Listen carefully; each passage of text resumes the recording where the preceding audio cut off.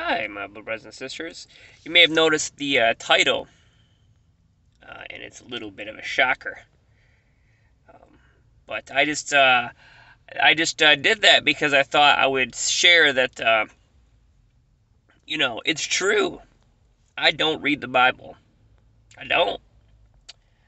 Uh, I have before, and sometimes, sometimes I do, but I don't read the Bible very much. But the point I'm making is ever since I've been saved and ever since I've been following God, I have always listened to the Bible on audio, besides the very first time I read it. And uh, that's just the way I do it. And I have listened to the Bible on audio through and through so many times that it's ingrained into my brain. And see, a lot of times, so the point I'm making is that people like to get ritualistic with things, and there's only one way that you can do it. Uh, if you're not reading your Bible chapter and verse and this and that and the other thing, or if you're not doing your fast with water only, you're not fasting correctly, or you know, you're not giving your 10% to your pastor every week exactly on time, so and so, then you're outside of God's will. These, you know what these all are? These are formulas and rituals of men that have been deemed to be uh, uh, Christian Code of Conduct 101 you must do in order to be walking the right way. And like I have a confession to make. I I always listen to the Bible on audio. And if you listen to my sermons, you'll see that there's nothing wrong with that because 90% of my sermons are me quoting verses. And that's the thing. Like, the thing is, it's from your heart. God sees the convictions in your heart. If I'm listening to that, if I'm listening to the first epistle, Peter, Peter, you know, 10 times a month, you know, and that's just the way I want to do it. And I don't want to crack open the Bible and read it because I just learn better. Then you have to understand that God sees the heart. God understands the convictions of the heart, and God is gonna, God is ministering to your heart. And that's the same with fasting. Like I have the personal conviction in my heart that I always do juice fast. I don't fast with water only, and I probably never will do a dry fast unless the Lord leads me to the Lord has led me to do juice fasts. And this is how I do them. And I do the big ones, the small ones, all different ones, but I do juice fast. And people will like to make a formula of something that isn't in the Bible. You know, like how you different how you know and then they'll go all the way these are the rules and restraints of men you have to do it the way we always did it you know or you're not doing it right. But God is not looking at your formulas. God's not looking at the way you do things. God is not looking at how you, you know, say like you go in the prayer closet and you like to do it a certain way. You do your you do your secret place with Jesus time a certain way. You cannot also put that onto somebody else and say do it just like me and you will see the same results. You will get the same and God will be pleased with you if you do it the way I'm doing it.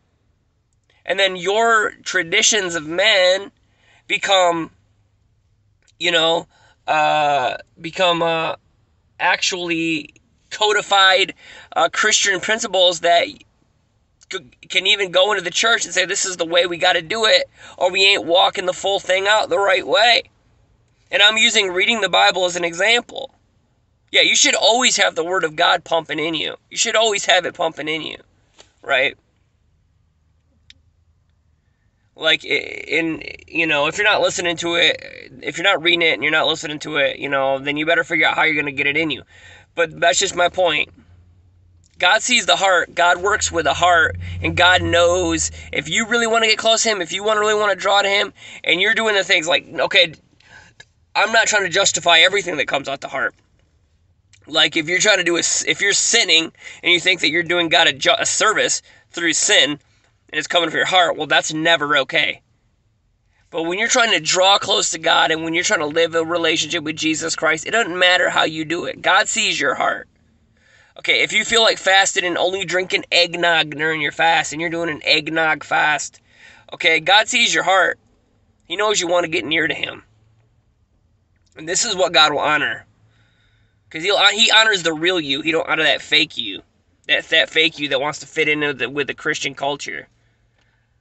Okay, God uses people to shake up the Christian culture, and pro- and I and I and I probably have a little bit of that in me.